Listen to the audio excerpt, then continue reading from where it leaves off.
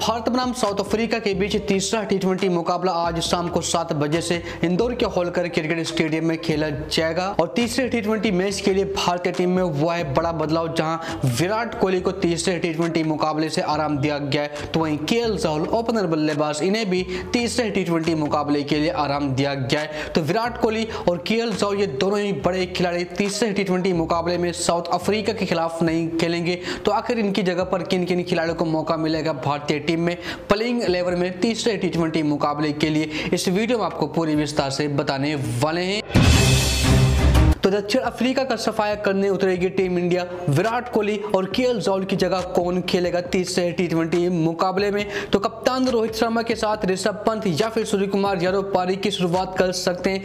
तीसरा T match Indore के Holkar cricket stadium में खेला जाएगा। भारत ने इंदौर में इससे पहले दो टी मैच 2017 और 2020 में श्रीलंका के खिलाफ खेले हैं और दोनों में जीत दर्ज की है। भारतीय क्रिकेट टीम ने दक्षिण अफ्रीका के खिलाफ तीन मैचों की टी ट्वेंटी सीरीज़ पहले ही अपने नाम कर चुकी है। टीम इंडिया ने सीरीज़ में दो ज़ीरो की अजय बढ़त बना ली है और तीसरे मैच को जीतकर दक्षिण अफ्रीका का क्लीन स्वीप करना चाहेगी। 16 अक्टूबर से ऑस्ट्रेलिया में शुरू हो रहे विश्व कप से पहले अंतिम टी मैच में दक्षिण अफ्रीका के खिलाफ भारतीय गेंदबाजों की असली परीक्षा होनी है। टीम के प्रमुख बल्लेबाज विराट कोहली और के एल को तीसरे मैच से आराम दिया जा सकता है। ऐसे में कप्तान रोहित शर्मा के साथ ऋषभ पंत या सूर्य कुमार यादव पारी की शुरुआत कर सकते हैं, जहाँ बीसीसीआई के अधिकारी ने बताया कि तीसरे मैच के लिए भारतीय टीम प्रबंधन ने अपने प्रमुख बल्लेबाज विराट कोहली और के एल को आराम दिया है। कोहली की जगह श्रेयस अय्यर को मौका दिया जाएगा तीसरे टी मैच में, जबकि विश्व कप के लिए भारतीय टीम 6 अक्टूबर को ऑस्ट्रेलिया के लिए रवाना होगी और विराट कोहली और के एल गुरुवार को ही मुंबई में टीम के साथ जुड़ जाएँगे। जहाँ भारतीय टीम में कोई रिज़र्व बल्लेबाज नहीं होने से शहबाज अहमद को टीम में मौका मिल सकता है। मोहम्मद सिराज या उमेश यादव में से किसी एक गेंदबाज को भी खिलाया जा सकता है। ऋषभ पंत को इस सीरीज़ में बल्लेबाजी का मौका नहीं मिला है। दिनेश कार्तिक ने दूसरे मैच में सात गेंद खेली। इस मैच में दोनों ही खिलाड़ी को ऊपरी क्रम में खिलाया जा सकता है। जहाँ अपने घर में दक्षिण अफ्रीका के खिलाफ पहली बार टीम इंडिया ने टी ट्वेंटी सीरीज़ जीती है। बारह महीने पहले यूएई में हुए टी ट्वेंटी विश्व कप में भारतीय टीम शुरुआती दौरे में बाहर हो गई थी। इस बार टीम में सुधार दिखाई दे रहा है। एशिया कप के बाद शीर्ष भारतीय बल्लेबाजों में भी सुधार हुआ है। रविवार को हुए मैच में के राहुल ने अपना स्ट्राइक रेट सुधारा। विराट कोहली ने 140 से अधिक के स्ट्राइक रेट से बल्लेबाजी की।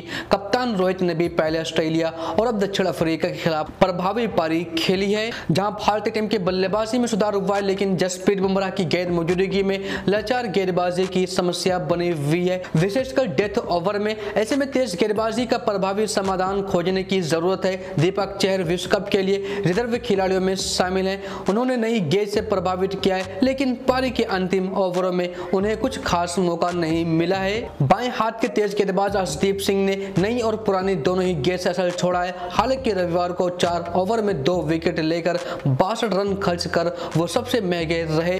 तो वहीं चोट से उभर कर वापसी करने वाले हर्षल पटेल भी बल्लेबाजों पर अंकुश नहीं लगा पा रहे हैं। लाल गेंद के विशेषक रविचंद्र अश्विन को बीच के ओवरों में विकेट निकालने होंगे। बुमराह की गैर मौजूदगी में होलकर स्टेडियम में मोहम्मद सिराज को भी मौका दिए जाने की उम्मीद जताई जा रही है। जहाँ भारतीय गेंदबाजों के जैसा ही हाल मेहमान टीम दक्षिण अफ्रीका का है, उनके तेज गेंदबाज ने गुवाहाटी के उमस भरे मौसम में खूब रन लुटाए। कई फुलटास गेंद फेंकी, जिन पर बल्लेबाजों ने जमकर रन बनाए। मेहमान टीम अपनी गेंदबाजी में सुधार करना चाहेगी। सीरीज़ गवा चुकी है, दक्षिण अफ्रीका ने बल्लेबाजी में बेहतर प्रदर्शन किया है। डेविड मिलर ने शतक जड़ा था तो वहीं विश्व कप से पहले क्विंटम डिकॉक ने भी अच्छे रन बनाए। टीम की सबसे बड़ी चिंता उनके कप्तान टेम्बा बोमो के बल्ले से इस सीरीज़ में रन नहीं निकलना है। तो तीसरे टी मुकाबले में विराट कोहली और के ये दोनों ही बड़े खिलाड़ी नहीं खेलने वाले, इन्हें आराम दिया गया है। तो आखिर इनकी जगह पर किसे खिलाया जाएगा, ये सबसे बड़ा सवाल है। तो विराट कोहली की जगह पर श्रेयस अय्यर को खिलाया जाएगा, ये तो कंफर्म है। और के राहुल जगह पर एक एक्स्ट्रा गेंदबाज को खिलाया जाएगा